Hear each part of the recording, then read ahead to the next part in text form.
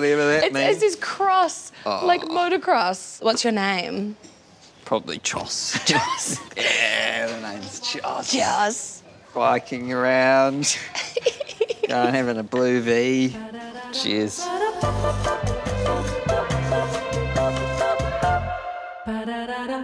Hi, I'm comedian, writer, and big old homo, James Mustapic. Let's face it, queer people are just more fashionable than the straights. So, why is that? And what can we learn about the clothes we wear? I'm about to find out, so strap in, queers and straggots alike. God, I look good in this shot. Anyone wet? Sorry.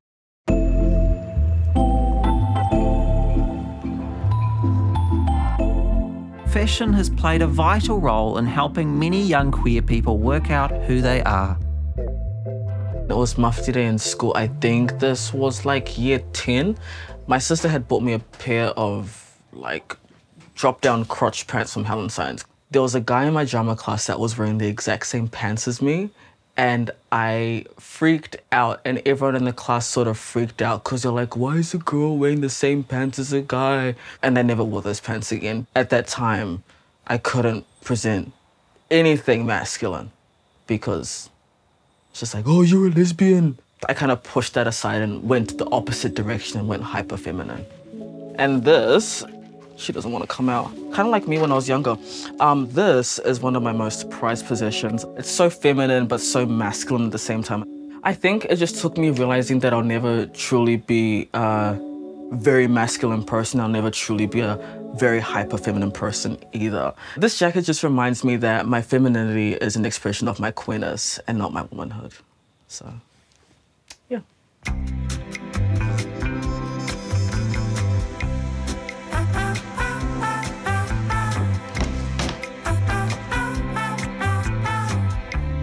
Vicky, in your professional opinion, are queer people more fashionable than straight people? Yes. That's a simple answer, yes. Queer people have had to have used fashion and have used dress to communicate who they are and to find acceptance and to find their community and like-minded people. So, yes, I would say definitely.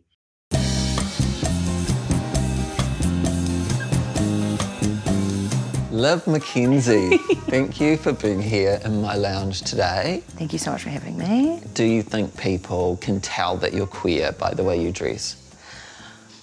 I'm not sure. I'm not walking around with like 15 carabiners on, you know? I think people know because I'm bisexual and I say I'm bisexual every 15 minutes. I think that helps. I was gonna say he's a little fairy, but that feels offensive. Look, Pofta. Homo. I think 10 out of 10. Thank you. Yeah. Yay. Kemuma discovered more about themselves when they started to wear gender affirming clothes. I feel like as I've gotten to know myself more, um, my style has changed. So when I was growing up, it was very much, I was dressed in what my mother wanted me to wear, which was a lot of traditional African clothing. I remember this quite vividly. It was my 18th birthday and my best friend at the time took me up shopping on K Road. And we went and bought a whole bunch of shirts and cargo shorts from this army store on K Road. And I dressed myself when we got back to the house and I was like, oh my God, I'm seeing myself for the first time. I saw the true version of myself that day. And I was just like, ah, so you've been there this whole time, you've just been hiding.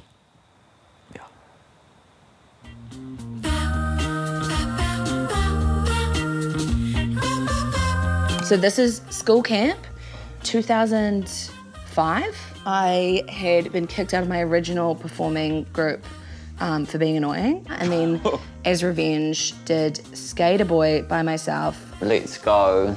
Seven. Okay, that's fair. Okay. What about the performance? Oh, Tina. Thank you. Genderless fashion is becoming more and more normal for both queer and straight people. The 70s, men in New York especially came up with this hanky code. And the hanky code was a bandana of different colours that you'd wear in the back pocket of your jeans, depending on left or right, would indicate to the other person what you liked sexually. But that progressively has changed. I say now my gaydar's broken. You can't tell anymore. And I think that's what fashion does now.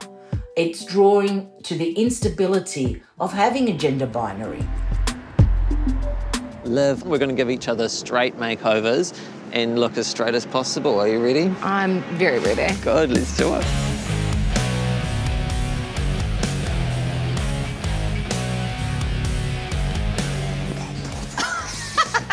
hey. Oh my god, hi. What's your name? Gordon's the name. and Gordon. Speed is my game. ran to the Six60 concert. Ran to a pink concert as well. Oh. It's funny that you do so much running because it says there's bikes all over your oh, bike top. Oh, well, what Choss is going to be very cross with me, isn't he?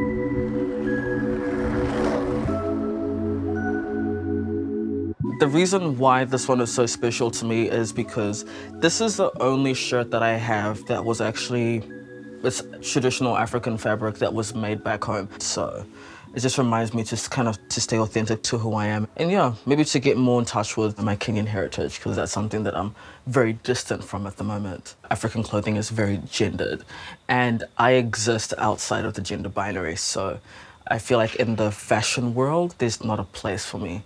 Maybe I can create my own place in that to exist comfortably, but I don't think I've just quite gotten to that point just yet.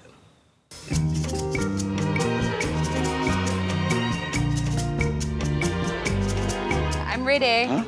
All right, let me see. I'm coming purse first. Oh, yes. I love business. I love accounting. I love to get a train to work and then pay $14 for a sandwich. What's your Tinder bio? I'm a busy gal and I don't have time to be messed around. Yes.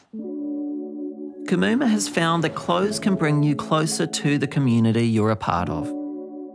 This right here is the first time that I had been to an all queer, especially BIPOC queer event. And I just decided to do something extremely out of the box for me. I taped my chest and I wore nothing but this little denim skirt. And then, of course, I had to wear the durag just to sprinkle on that little bit of masculinity. I've never felt so liberated wearing something like this because I think for most trans masc individuals, their chest is one of their biggest insecurities. I've never felt so proud of myself.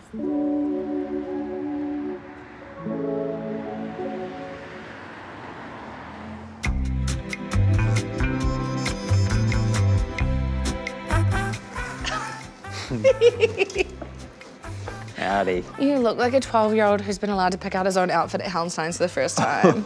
you look horny and you look like you've never seen a tit in your oh. entire life. I've always got safe search on. Today is gonna be the day when I'm gonna come back to you. I don't believe in anybody. On the next episode of Queer Academy, Now ascend to heaven.